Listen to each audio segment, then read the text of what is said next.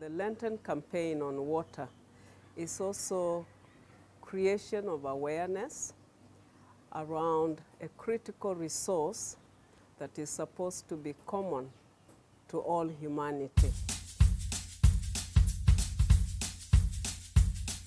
The, the Lenten campaign is also not only raising awareness, but is also creating a movement around this very vital resource for the livelihood of every human being.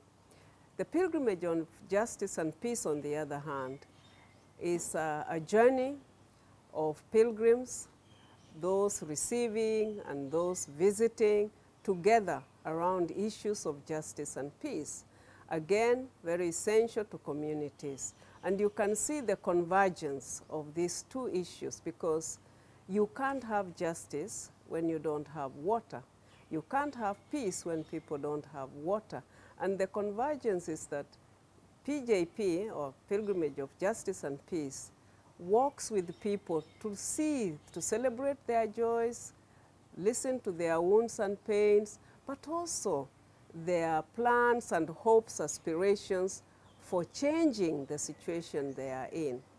And there is where we converge uh, because in the journey together as pilgrims, the issues of water come up again and again as a resource that is a cause to violence uh, or as a resource that dehumanizes and denies people justice.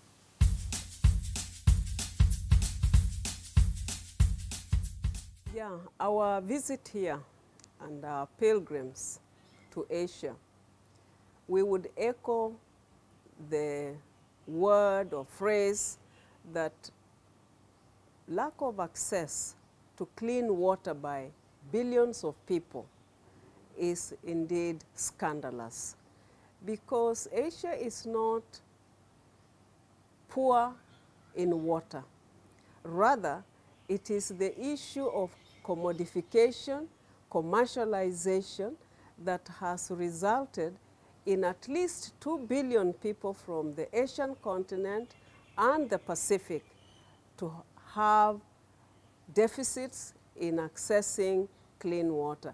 In this sense, the water crisis in Asia is a reflection of the global water crisis. And for us, it's not only a scandal, it is a sin, because it is a sin which means it's criminal to deny people that very commodity that is supposed to be a common good for the common uh, good of the society. And therefore, it denies really the lifeline for many people because it will affect their health, it will affect their food security, it affects relationships. And it is this that makes us say the lack of water to billions of people in Asia is a scandal, it is a sin, it's a crime that should assume global proportion of outcry.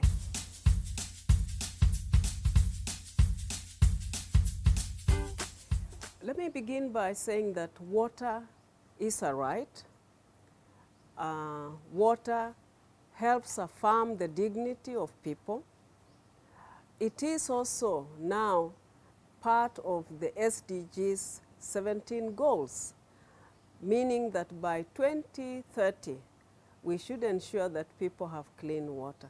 World Council, by proclaiming itself as a blue community, a blue organization, is to draw the attention of the world to the fact that bottled water is not the answer to the lack of clean, potable water. In fact, it is becoming increasingly clear that bottled water is not as safe.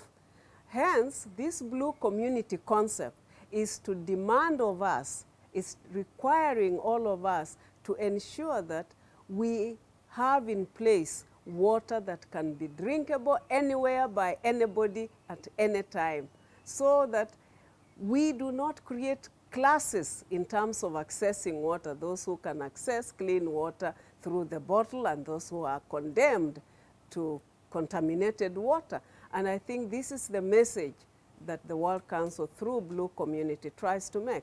Now, of course, it is difficult in certain situations when you have people from all over the world and sometimes not so conscious to trust and believe that the local communities will boil and make sure that the water is actually clean enough for them. Hence, that uh, pro provision where we try to accommodate those fears as we walk with them and journey with them uh, towards understanding why the blue community.